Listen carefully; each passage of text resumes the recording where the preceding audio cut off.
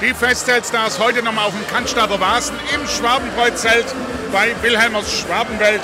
Und heute geben sich die Mallorca-Stars die Klinke in die Hand. Eigentlich haben wir heute auf Olli P. gewartet, aber er musste leider krankheitsmäßig absagen. Aber wer auch mit dabei ist, sind gute Freunde von mir, die Dorfrocker. Und zu denen schauen wir jetzt mal gleich rüber. Tobi, äh, servus erstmal, hier in Stuttgart wieder. Frank altes Haus, ey. Wir kennen uns ja ähm, äh, seit wie vielen Jahren? Seit, äh, zehn, über, über zehn Jahre sind es. Wir waren ja einer unserer ersten Highlights, war glaube ich 2007 war das mit dir, ne? So ist es. Hier genau. Cannstatter Vasen, gleiche. Stelle, gleicher Ort. Also begonnen hat es eigentlich bei euch in der Heimat irgendwo. Ja, bei uns hat es natürlich begonnen vorher, logisch. Aber, du warst, aber du warst Wegbegleiter von Beginn an. Also wir waren ja 2007, das war unser Beginnjahr als Dorfrocker. So und du warst gleich von Anfang an dabei. Genau. Und heute 2019 und du bist wieder da, ne? Ihr auch? Du, du gehst nicht weg und wir auch nicht. Wir auch nicht, ne? Wahnsinn. Wie, was gibt's Neues? Was habt ihr alles?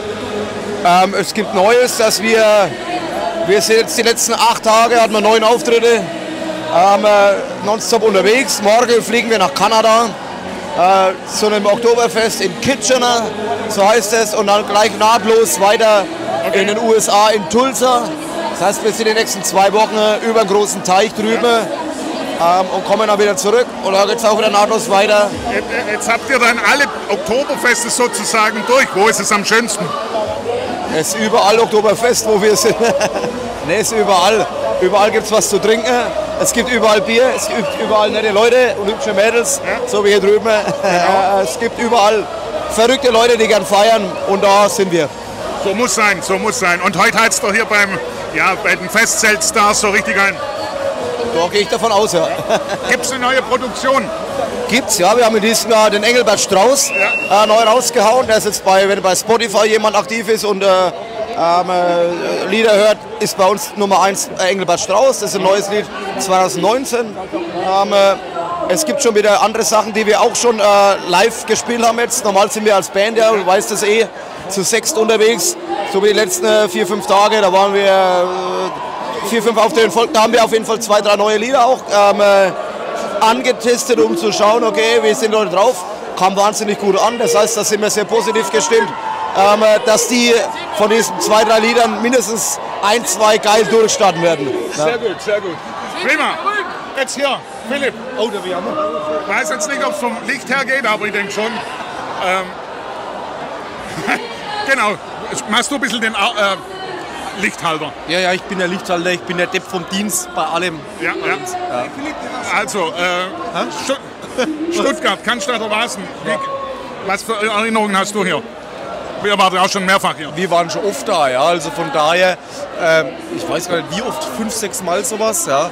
Und ja, immer in bester Erinnerung geblieben. Stuttgart, Cannstatter Vasen, immer wieder ein Fest. Genau, obwohl ihr so die ganzen äh, Oktoberfeste weltweit schon bespielt habt. Ja, wir sind jetzt zum Beispiel übermorgen in Kanada, Ja, Tobi hat schon gesagt. hat schon erzählt, ja, und äh, die letzten neun Tage, glaube ich, zehnmal unterwegs gewesen. Und von daher bleibt aber trotzdem Stuttgart immer besonders hängen, logischerweise, immer wieder schön da. Ja, sehr gut. So, und wenn die Kamera jetzt mal mitkommt, wir müssen jetzt mal zum Markus noch rüber, weil er ist schon wieder am Flirten. Das Licht braucht man natürlich noch ein bisschen. Jetzt muss ich mal ganz kurz, bleib, bleib, bleib denn ruhig da, bleib ruhig da, rutsch ruhig mal rein. Denn ihr kennt euch natürlich auch schon ein bisschen. Ihr, ne? Yes, einmal haben wir uns getroffen.